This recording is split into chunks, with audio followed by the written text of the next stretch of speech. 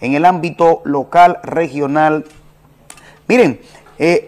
Lisbeth Nicasio Adames es la gobernadora de la provincia Hermanas Mirabal, la nueva gobernadora de esa provincia. Y la señora gobernadora Nicasio dice que encontró esa provincia en un total abandono, que se encuentra abandonada la provincia Hermanas Mirabal. Así que vamos a escuchar las declaraciones de la nueva incumbente en esa provincia eh, valiosa de nuestra región. Y a propósito de eso, saludo para toda nuestra gente de la provincia Hermanas Mirabal y del municipio de Salcedo, pues en el día de ayer estuvieron de aniversario, 140 aniversario de eh, el municipio de Salcedo, municipio tan históricamente que ha aportado tanto, principalmente a través de sus hombres, mujeres,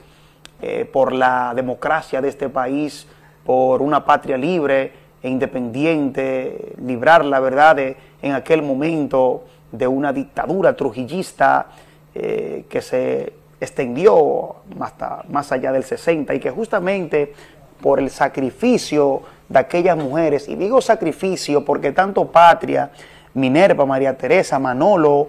eh, sabían que el destino final sería sacrificar su vida por los buenos ideales de este eh, por el camino, ¿verdad?, de la libertad de este país y en aquel momento haberse enfrentado a Rafael Leonidas Trujillo dio mucho de qué hablar por parte de las hermanas Mirabal, justamente nativa de este municipio de Ojo de Agua, Salcedo. Así que felicitaciones para todos nuestros amigos de Salcedo y que estuvieron de fiesta de aniversario en el día de ayer. Bueno, en lo que preparamos entonces las declaraciones de la gobernadora eh, de la provincia, eh, bueno, hermanas Mirabal, ¿por qué no? Vamos a hablar un poquito acerca de, de lo que en el día de hoy, las expectativas principalmente ya, en nuestra opinión del día, sobre las elecciones de los Estados Unidos de América.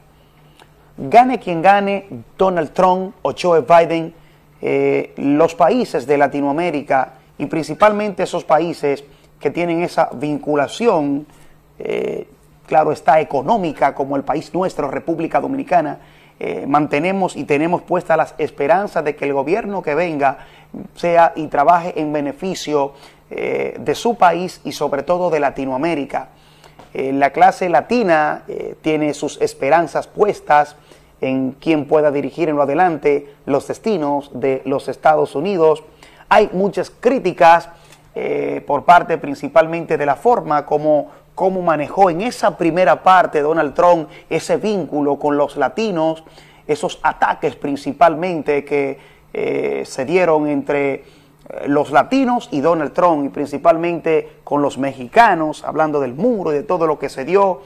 Pero muchos entienden que la política que este hombre ha adoptado en ese país le ha beneficiado, y principalmente en los últimos meses hablando ya del subsidio que han recibido económicamente los latinos eh, por parte del gobierno de Donald Trump. Hasta el momento, una lucha que se mantiene cerrada, tal y como decíamos hace un momento, de apenas unos puntos y que eh, los estados que faltan por registrarse, por contarse, serán determinantes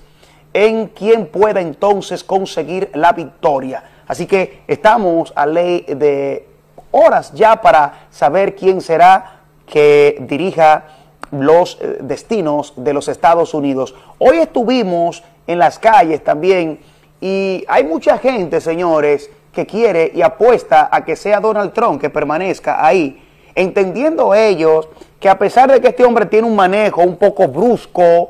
y que ha hablado muchas cosas así que quizás ha ofendido, pero ha dirigido este país eh, por el destino que debe de ser y por las leyes principalmente. Y porque en Estados Unidos se cumplen las leyes y este hombre ha hecho de que así sea, de que se cumplan definitivamente las leyes en los Estados Unidos. Así que ahí está parte de nuestro comentario del día. Quien gane en el día de hoy, repito, América Latina los latinos tienen puesta sus esperanzas en cambiar para bien de todos, nuestras naciones de Latinoamérica. Qué bien. Señores, miren,